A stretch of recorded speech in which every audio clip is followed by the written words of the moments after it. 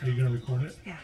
Zero percent for five years. One day, Saturday. You can do a real recording. Doing it right now.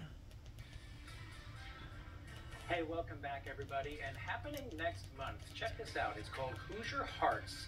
And you can be among the first to see this one night only event at the Benjamin Harrison Presidential Site, filled with love, poetry, art, music, all celebrating Valentine's Day and Black History Month at the same time, and several of Indiana's up and coming poets. Lindsay Beckley and Kye Benford are here with us this morning to talk about this. First of all, I love the H. It's like Hoosier Arts with the H. Yes, Hearts. It's yeah. very, very, very cool.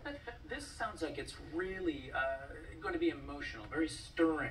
Uh, some of these uh, these works that are going to be presented. Absolutely, yes. Um, so we especially, I think, um, there, you're going to kind of see three vignettes within the house.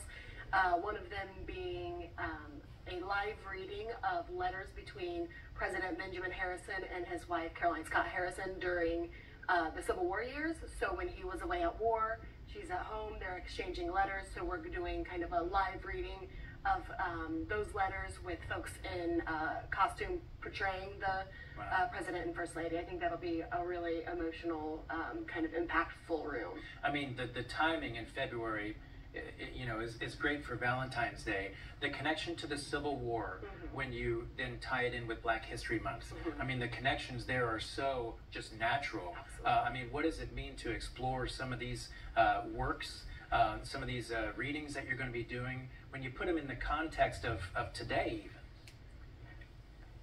Yeah, it's oh, there's there's a lot, especially like coming off of the Civil War with like freed slave stuff. You have a lot of people, I guess, like famous uh, people like Richard Douglass and uh, trying to, I guess, like encourage more like advocacy for African American stuff. Mhm. And then you have different like poets such as Paul Laurence Dunbar, who is also going to be who will be one of the readings that we read there, who uh, try to through their poetry and works try to encourage that advocacy. and you're going to be sharing some of that here in just a moment. Uh, to, to hear some of the words that were written written way back then, and just you know when you really get into that uh, that moment, I guess. So imagine what they were feeling as these things were, were being written. That's what you're hoping to convey to the audience. Yes, that and I also will have some contemporary poets, up and coming Hoosier poets that are reading uh, original works. So uh, we're definitely trying to strike that balance of historical, um, you know, um, historical poetry and and the letters, and then also having that balance with up and coming Hoosier artists and poets, and we're we're just kind of. Uh, trying to give everybody a, an experience they won't forget this Valentine's Day. And boy, just the venue, the setting too. And since we're connecting everything uh, to history, what a place to be doing this. Oh yeah, there's there's not much uh, better of a place in Indy for that. Yeah.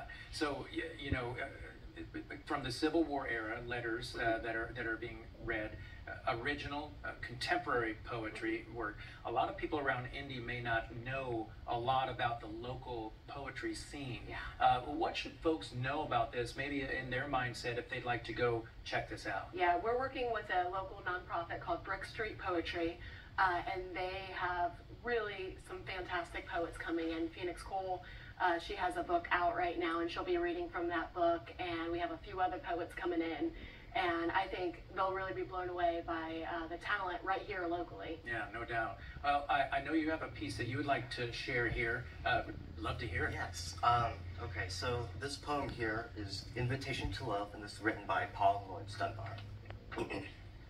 come when the nights are bright with stars, or come when the moon is mellow. Come when the sun, his golden bars, drops on the hayfield yellow. Come in the twilight soft and gray, come in the night, or come in the day.